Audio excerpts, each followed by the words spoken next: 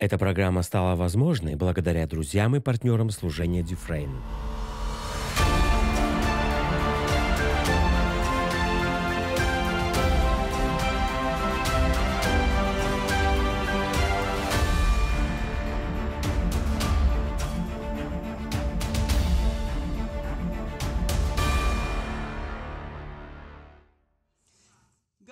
Откройте со мной, пожалуйста, снова 36-й псалом. Вам нужно это увидеть. Ну и что, что мы его уже читали, он вам нужен. Мне он нужен, нам он нужен. 36-й псалом, 18 стих. Я хочу, чтобы вы этим прониклись. Господь знает дни непорочных, и наследие их прибудет вовек. Что такое дни непорочных? Это дни наследия. Вот что здесь сказано, что для ваших дней есть наследие. Те дни, что у вас еще только впереди, уже наполнены наследием. Ваше будущее — это будущее наследие. Почему? Их наследие прибудет, посмотрите, вовек, вовек, вовек вовек. Вам нужно держаться за это. То, что Бог мне сказал, прибудет вовек. То, чем Бог меня благословил, прибудет вовек. Оно не меняется, когда что-то давит на меня. Когда обстоятельства говорят, что оно не работает, или выглядит так, что оно не работает. Мое наследие прибудет вовек. Вот что такое вера. Но ведь не выглядит, что это работает. Потому вам и нужна вера для того, что еще не видно. Если что-то еще не проявилось, значит, нужна вера. Но я уже стоял в вере. Вовек? Раз наследие пребывает вовек, то и вера вовек. Никогда не наступит такой день, когда ваше наследие настолько проявится, что вы сможете перестать использовать веру. Нет, вечное наследие требует вечной веры. Каждый день мы высвобождаем веру. Каждый день мы верим. Каждый день мы не отступаем. Стезя праведных более и более светлеет, а не темнеет и тускнеет. Почему? Потому что мое наследие прибудет вовек. Оно вечное. И когда наступают лютые времена, приходит что-то неправильное, вам нужно на это ответить. Мое наследие для этого времени. Ваше наследие для этих лютых дней, ваше наследие для дней голода, ваше наследие и для тех дней, когда все как надо. Ваше наследие абсолютно для каждого дня. Почему? Потому что ваше наследие неизменно, и оно не подвержено колебаниям времен. Аллилуйя! Аллилуйя! Как мы уже прежде говорили, каждый раз, когда приходит что-то, что не пахнет вашим наследием, не демонстрирует его. Вам нужно на это ответить. Псалом 106.2. «Так да скажут избавленные Господом, которых Он уже избавил от руки врага». Посмотрите, кто должен говорить? Видите, Бог сказал, что Он уже избавил вас от руки врага. Теперь вам нужно это говорить. Недостаточно того, что Бог это говорит. Что Бог говорит, у меня есть дом для тебя, у меня есть бизнес для тебя. Недостаточно того, что Бог говорит, у меня есть верное направление для тебя, другое будущее для тебя. Вам нужно это говорить. Тогда скажут избавленные Господом. То есть, да скажут избавленные Господом то, что говорит Бог. Да скажут избавленные Господом то, что говорит Бог. Аминь. Когда Бог сказал, что даст мне загородный дом сестры Эми Симпл Макферсон, я уж точно не могла разобраться, как он это сделает. Потому что с уходом моего мужа к Господу огромная финансовая нагрузка легла на меня лично и на служение. Я даже не вникала в вопрос дома, потому что не могла в этом разобраться.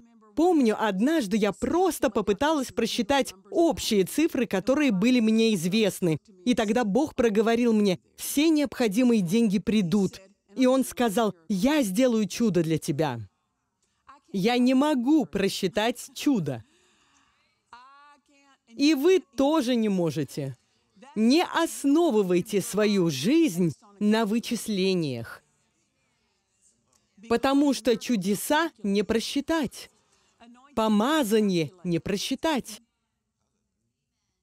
Кнопка благословений не находится на компьютере или на калькуляторе. Кнопка благословений внутри вас. Аминь. Столкнувшись с нуждой, тогда скажут избавленные Господом. Вот почему, хотя у каждого христианина есть то же самое наследие, не у каждого христианина жизнь демонстрирует это наследие. Почему?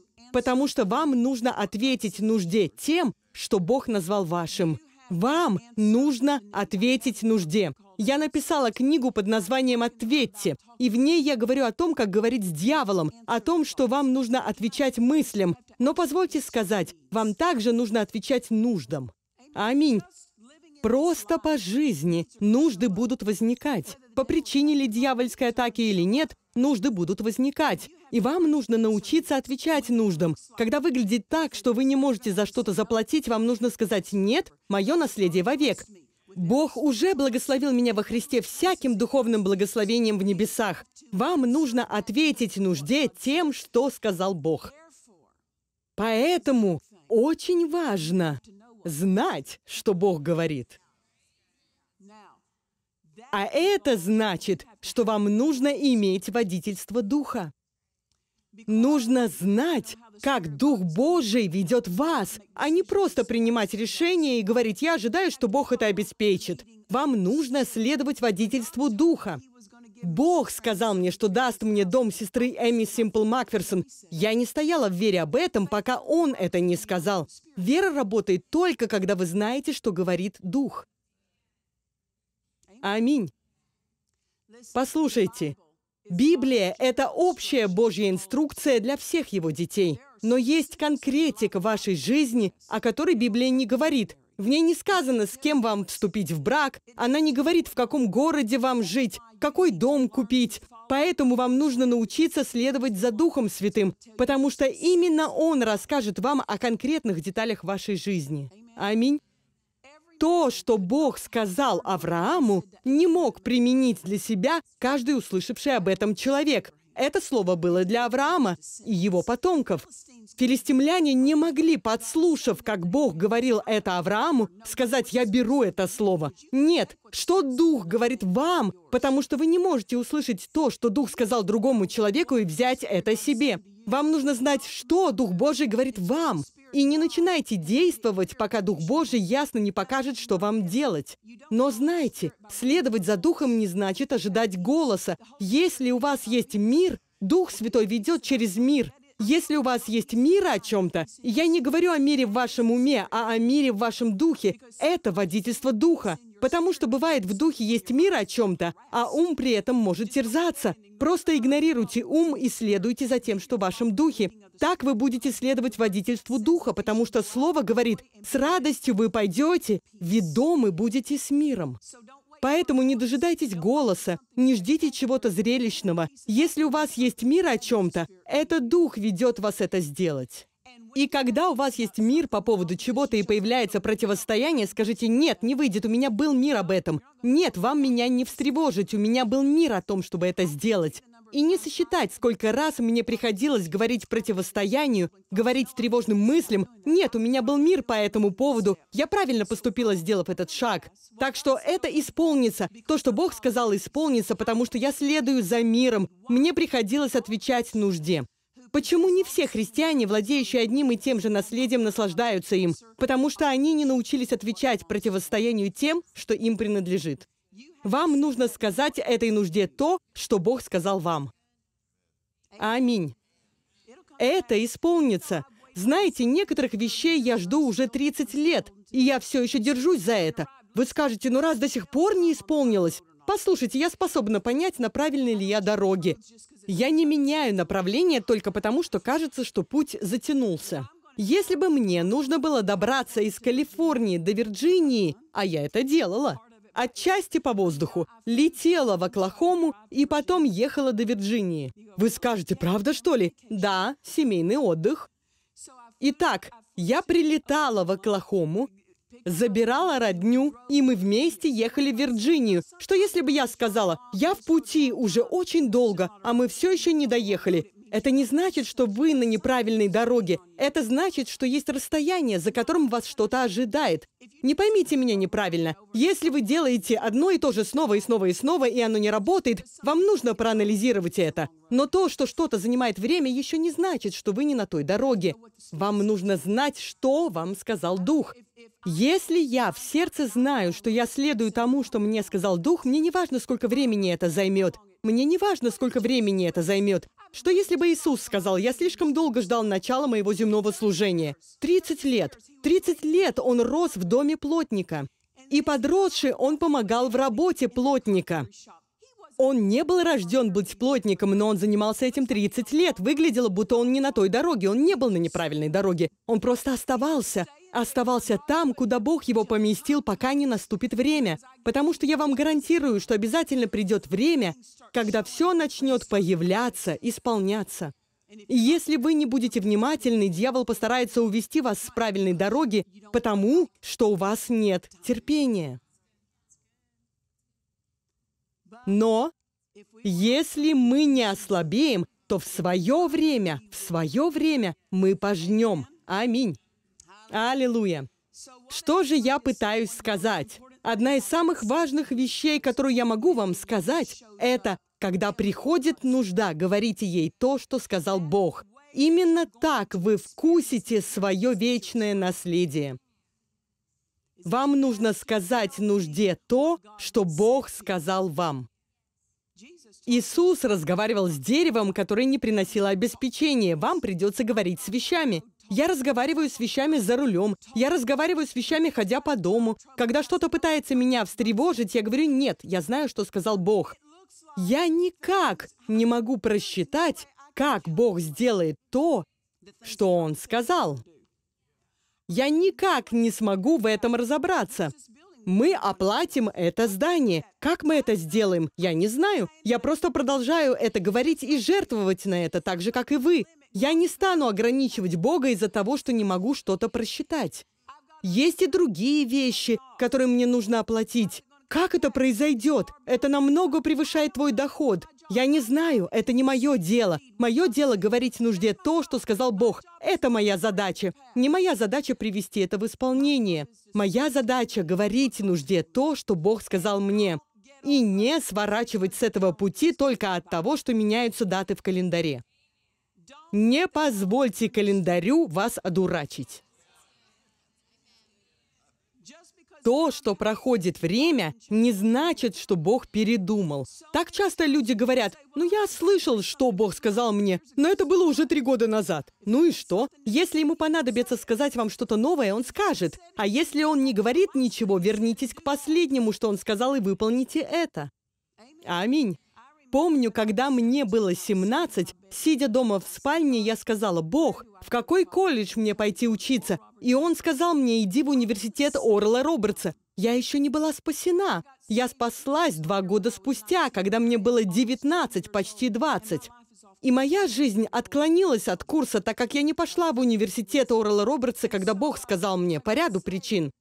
И когда я спаслась, первое, о чем я подумала, я знаю, что я не в воле Божьей, я знаю, что я не живу там, где должна, я знаю, что я не учусь там, где должна. И я задумалась, что последнее мне Бог сказал сделать. А Он сказал мне пойти в университет Орла Робертса. Так что это слово все еще было в силе. Я вернулась к Нему, выполнила его, и с тех пор Бог направлял мою жизнь.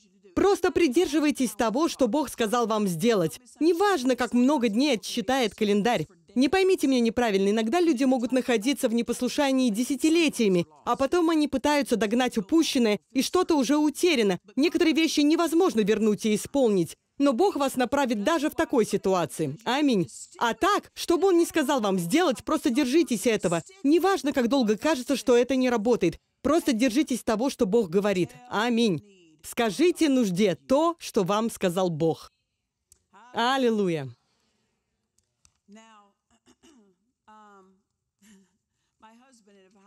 Нам с мужем часто приходилось это делать.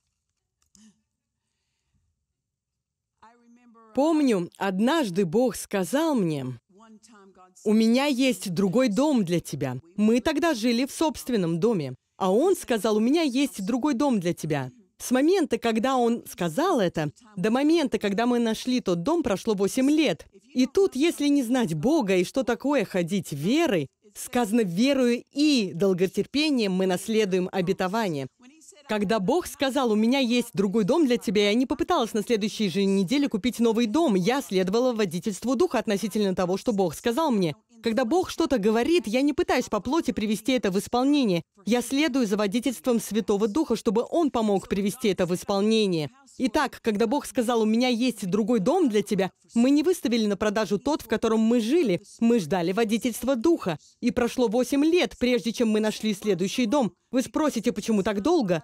Потому что требуется время, чтобы прийти в то положение, в котором Бог сможет перевести нас на следующий уровень. Он ждет роста нашей веры. Зачем же Он говорит нам настолько заранее? Он дает вам возможность питать свою веру, чтобы когда наступит время, ваша вера была бы готова двигаться в этом. Если вы не будете питать свою веру и время наступит, а вы не будете готовы в этом двигаться, вы можете упустить некоторые вещи, которые у Бога есть для вас. Итак, когда Бог что-то вам говорит, не заботьтесь о том, когда это произойдет. Просто будьте заинтересованы в том, чтобы питать свою веру для этого. Просто будьте заняты подготовкой к этому, а не вопросом, когда это произойдет. Многие люди хотят знать, когда это произойдет. Просто питайте свою веру, просто продолжайте расти, просто продолжайте развиваться, расти в зрелости. Аминь. И вот спустя 8 лет мы нашли тот дом. С этим связано несколько историй. Потому что мой муж сказал, я не буду платить такую цену. Я спросила, ты согласен, что это наш дом? Я знала, что это наш дом. Иисус однажды вечером встал у моего кресла в нашей гостиной и сказал мне, что тот дом наш. Видите, я не просто на обум схватилась за какой-то дом, я следовала за водительством духа. И когда этот дом был выставлен на продажу, мы с мужем разговаривали об этом, и он сказал, я не буду платить такую цену. Людям нравится находить хорошие сделки. Но знаете что? Мне тоже нравятся хорошие сделки, но я не стану лишаться того, что Бог сказал просто, чтобы заполучить хорошую сделку. Итак, Эд был не согласен с ценой. Я спросила, согласен ли ты, что это наш дом. Он сказал, да, я согласен, что это наш дом. я сказала, тогда ты должен согласиться с ценой, потому что хозяин не будет сбивать цену. Если ты не согласен с ценой, ты не согласен с тем, что это от Бога. Аминь. Ну, это уже другая история. В конце концов, Бог проговорил моему мужу, и он согласился заплатить цену, и тогда мы купили дом. Сегодня не будем вдаваться во взаимоотношения мужей и жен. Но когда этот дом впервые был выставлен на продажу, другие люди тоже хотели его купить. И я слышала, что они готовы были заплатить полную цену. А Эд не был готов заплатить полную цену. И если вы продавец, кого вы выберете? Так? Вы выберете того, кто предлагает заплатить полную цену. И я знала это. Но я также знала, что я не могу ссориться с мужем, иначе Бог уж точно мне не поможет. Поэтому я просто сделала шаг назад, сказав, «Бог, я сделала все, что могла, чтобы прийти к решению логическим путем, так что теперь я просто оставляю все в твоих руках». И вот в один из дней я провожу молитвенную группу. Мы начинаем молиться, и Дух Святой говорит, «Пойди со мной, я хочу тебе кое-что показать». И тут я поднялась и оказалась на кухне того дома, который мы были заинтересованы купить. И за столом сидел продавец, хозяин дома, а перед ним лежали два договора. Один за полную цену от других людей, и наш договор не за полную цену. И я услышала, как Дух сказал этому человеку, возьми этот договор, показывая на наш. Дух позволил мне увидеть, что произошло в духовном мире. И я подумала, хозяин придет и скажет, что он выбрал наш договор, принял наше предложение. Он сообщил, что принял другое предложение. И мы с Эдом были так довольны друг другом. Я сказала, я же тебе говорила, что они не собьют цену. Зачем им ее сбивать, когда у них есть покупатель за полную цену?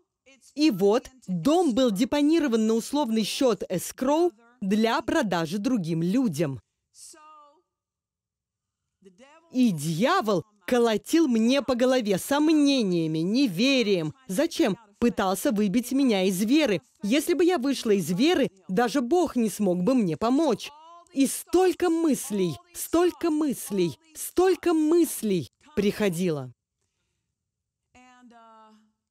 В США большинство таких сделок со счетом escrow, пока решаются все детали, занимают около 30 дней. Это же была на 60 дней. 60 дней дьявол колотил мне по голове. 60 дней. И дьявол говорил, ничего не получится, ничего не получится. А я отвечала, Бог сказал, что у него есть другой дом для меня. Иисус встал у моего кресла и сказал мне, что это мой дом. Дух Святой сказал мне об этом. Он показал мне договор. Они возьмут мой договор. Дух Святой это сказал. На следующий день снова ничего не получится. И прямо чувствуешь, как этот дом ускользает от тебя. Понимаете, о чем я? По-человечески ощущаешь, ничего не выйдет, потому что другие люди его купят. И дьявол вдалбливает тебе, ты его не получишь, ты его не получишь, ты его не получишь. И я просто отвечала на это. Нет, Бог сказал мне, что у него есть другой дом для меня. Иисус сказал, что это тот дом. Дух Святой показал мне договор, которому Он благоволил. Он указал на него. Когда Дух Святой на что-то указывает, неважно, на что указывают люди. Слава Господу! Мне пришлось это делать один, два, три, четыре, пять дней, пятьдесят шесть, пятьдесят семь. И некоторые наши друзья знали об этом и спрашивали, ну как, ну как? Дом идет ко мне, он идет ко мне, идет ко мне, вот как, он идет ко мне. И кто-то говорил, ну, я слышал, что все уже идет к завершению сделки с другой семьей. Неважно, что вы слышали, неважно, что вы слышали, потому что я уже слышала. Я уже слышала. Я уже слышала. Видите, вера убеждена, что все могут измениться, кроме Бога. Вера убеждена, что любое обстоятельство может измениться, но не Бог. Вера убеждена, что любое условие может измениться, но не Бог. Когда вы сталкиваетесь с нуждой, вам нужно сказать этой нужде то, что сказал Бог. И делать это нужно не один раз, и не только в течение первой недели, когда вы все еще в восторге, а и потом, не чувствуя никакого помазания, на второй неделе вам все равно нужно продолжать говорить. Потому что вера — это образ жизни, а не мгновение. Это образ жизни, а не мгновение. Разговор с нуждами должен быть вашим образом жизни. Говорите нуждам, что сказал Бог. Говорите им о вашем наследии. Не вылезая из кожи вон, чтобы заполучить свое наследие, а осознавая, оно уже мне принадлежит, оно уже мне принадлежит, исцеление уже мне принадлежит, обеспечение уже мне принадлежит, победа уже мне принадлежит, обстоятельства, победа уже мне принадлежит. Я не пытаюсь ее заполучить, я не пытаюсь ее заработать, выдернуть ее из рук Божьих. Она мне уже принадлежит. Он уже благословил меня всем, чем наслаждаются сами небеса. Я вот что вам скажу. Вам нужно быть разговорчивыми. Вам нужно научиться не только разговаривать с Богом, вам нужно научиться разговаривать с нуждами, с дьяволом. Не вести беседы с дьяволом, а говорить ему со властью. Итак, на 58-й день было воскресенье. Я выхожу из церкви после проповеди, и мне звонит мой агент по недвижимости и говорит, «Вы слышали?» Я говорю, «Нет, я ничего не слышала». И он говорит, «Сделка другой пары сорвалась». Но это совсем другая история. За два дня до истечения 60-дневного срока сделки 58 дней я стояла на своем. 58 дней. И я вам скажу, дьявол хотел добиться, чтобы я сдалась. Добиться, чтобы я стала говорить что-то другое. Как бы я хотела больше этим не заниматься. Некоторые люди просто хотят облегчения. Я просто не хочу больше с этим разбираться. Послушайте, если вы хотите пробиться в полноту того, что у Бога есть для вас, вам придется с чем-то столкнуться. И если вы будете жаловаться, вы не дойдете до конца. Если вы будете ныть и желать, чтобы этого всего не было, я просто устала разбираться с этим домом. Если бы я сказала, я просто устала разбираться с этим домом, я могла бы остаться прямо там, где я была. У меня был дом. Но я бы не получила то большее, что было у Бога. Каждая победа связана со следующей победой. Не забывайте этого. Важно, как вы завершаете каждую ситуацию, потому что это определяет, как вы начнете следующую. Когда я нанимала работников, когда люди только начинали у нас работать, если они работали на кого-то другого, я говорила, не просто уйдите с вашей предыдущей работы, но завершите там все правильно. Уведомьте их надлежащим образом заранее и позаботьтесь о том, чтобы тот, кто заменит вас, был правильно обучен, потому что как вы завершите работу на том месте, так вы начнете работу у меня. И я не позволю вам неправильно завершить ту работу, потому что тогда вы не сможете правильно начать работу со мной. Есть честь в жизни веры. Аминь. И важно, чтобы мы не отпускали то, что Бог сказал, просто потому, что мы устали от этого. Просто потому, что мы устали. Мы устаем от того, что мы не отвечаем правильным образом. Каждый раз, когда я отвечала нужде тем, что сказал Бог, я укреплялась. Это слово поднималось внутри меня. Это слово духовно заряжало меня. Отвечать словом не было для меня утомительно, просто от того, что противостояние повторялось снова и снова. Каждый раз, когда вы вкладываете слово в свои уста, оно заряжает вас, чтобы продолжать идти вперед. И если вы устали от того, с чем вы сталкиваетесь, вы не отвечаете надлежащим образом. Аминь. Бог показал мне будущее этого служения более 35 лет назад. И мне вам не передать, сколько раз дьявол говорил, ничего не изменилось за 35 лет. Неважно, какими были предыдущие 35 лет. Бог показал мне, и это исполнится. И каждый раз, когда я это говорю, что-то внутри меня, моя вера поднимается, моя вера укрепляется. Аминь. Я не устаю отвечать нуждам, потому что я получу конечный результат. Не жалуйтесь, не ищите виноватых, не говорите, лишь бы мне избавиться от этого давления. Я вам вот что скажу. Если вы будете говорить слово, слово удалит это давление. Возложите давление на слово. Перестаньте пытаться сами что-то исполнить. Вспоминать, что сказал Бог, это не давление. Когда вы говорите слово своей нужде, это снимает давление с вас и возлагает его на слово. Аминь. Когда вы своей нужде говорите то, что говорит Бог, вы становитесь сильнее, а не слабее. Вы становитесь радостнее, а не жалуетесь. Вы больше верите, а не начинаете сомневаться. Аминь.